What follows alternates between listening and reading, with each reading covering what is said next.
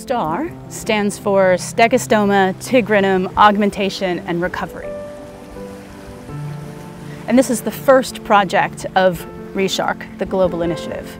This first project is focused on bringing Indo-Pacific leopard sharks back to places in their range where they have been disappeared or almost disappeared, starting with Raja Ampat, Indonesia.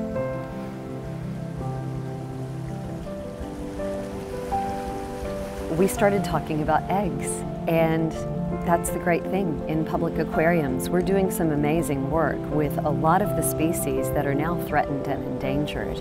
We do breeding for recovery and rescue programs with a variety of species. And it just so happens that over 20 years of working with zebra sharks, we've been breeding them all of this time. One might think it'd be pretty easy to take some eggs from aquariums and bring them to Raja Ampat and then let them go, right? Well, it's not as easy as one may think.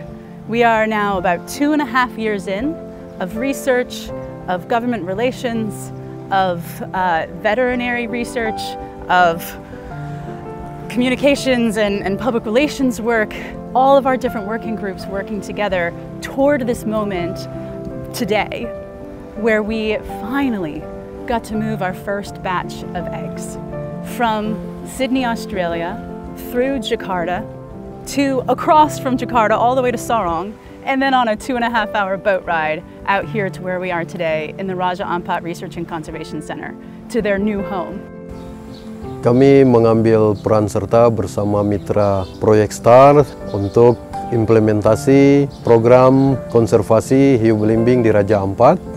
Ini merupakan program konservasi hiu pertama kali di dunia yang menggunakan metode restocking dan kegiatan ini sejalan dengan tujuan uh, pembangunan uh, berkelanjutan uh, di Provinsi Papua Barat yang juga Uh, mendukung peningkatan ekonomi masyarakat lewat uh, pariwisata berkelanjutan.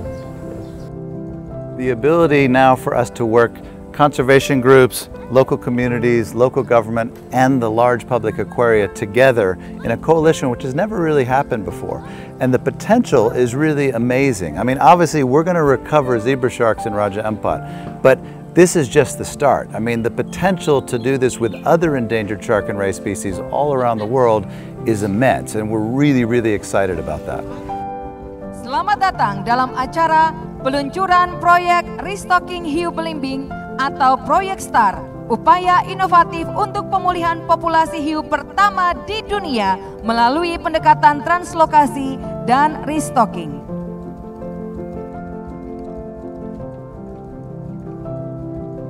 made it to customs, and then the wheels fell off the wagon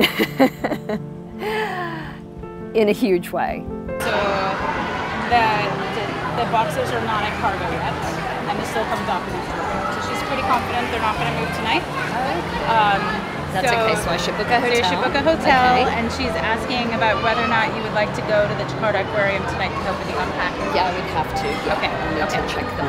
Check Okay. It's been a roller coasters of emotion and it was mainly not knowing the process how to get it get the eggs out of the cargo area and they told us at like 11 p.m. that you know relocating it is possible. So my only worry was that it's gonna get too heated up in the box. So what we're doing right now is doing our pre-pack prep work for the boxes because there's a lot that goes into getting the boxes all ready to give um, our eggs a smooth ride. So we're just getting all the dry stuff started and as soon as customs comes to clear our eggs, then we'll go with the wet side of the work and start packing eggs in water. It's a beautiful egg. uh, things so that we can keep the siphon as I fill the bags. No, keep the siphon going really tight against it. Again, at the very base so that you don't have an air void. So the eggs are leaving to their final flight. It's with the cargo team now, and I'm finally getting to rest. So let's hope they arrive to Sorong safely.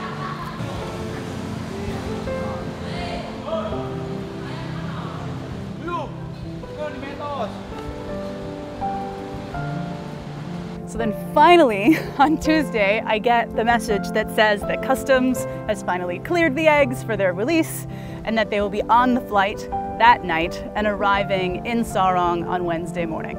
And we go over to the airport and we're standing outside of the quarantine door for what felt like hours. And then finally the blue doors open up and the boxes are there and I finally get to see them for the first time and I'm not sure if I'm allowed to touch them and then eventually I do. I give them a hug because it's so wonderful to finally see the boxes but I still don't get to see the eggs because we take the boxes, we load them into the trucks to bring them to the marina where we offload them from those cars onto our boat and onto a two and a half, three hour boat ride off to the nursery.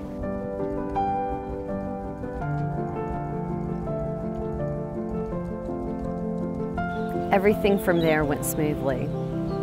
We had all the shipments go right. We arrived every step of the way with the eggs and with the animals. And the moment that I saw the nursery in person for the first time, it was really emotional to know that the eggs were almost home. And we got the boxes off the boat into the nursery, popped open the boxes. Wait, wait, wait, which box was this? This is box number two. And then Laura and Dolly and Orpa, our aquarists here at RARC, went to work to make sure that the animals inside the boxes were still doing well, testing their water and making sure that the animals were still alive and healthy. And I have to say that moment of seeing the eggs for the first time, it's kind of indescribable. You know, we've been working toward this for so long. And to have them finally arrive here at their nursery safe was just incredible. What I'm doing is just making sure the yolk looks healthy. Because as long as the yolk is healthy, and even though you're never going to see an embryo before about six weeks or so, five or six weeks, we've got a bit of time. The yolk looks very shiny and, and solid. And okay so far. So basically, we'll check it every few days. being able to just approach this glorious place. I was meeting the people that I've heard about and talked about for two years. It was overwhelming, but yeah, it's, it's awe inspiring. This place is so glorious. And I thought, man, we couldn't have picked a better spot for these little eggs, for these little animals. Once they hatch, they're going to live here. They're going to be living in this little chunk of heaven on earth in perfect water and perfect conditions and be back where they belong. You know, be back where this species was meant to exist.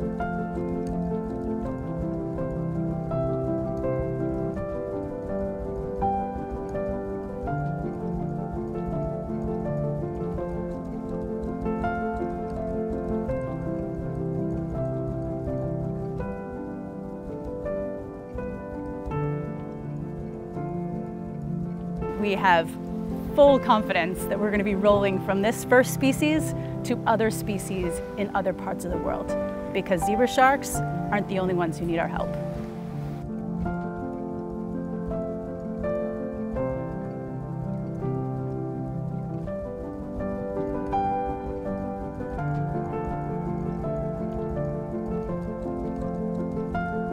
I'm gonna cry.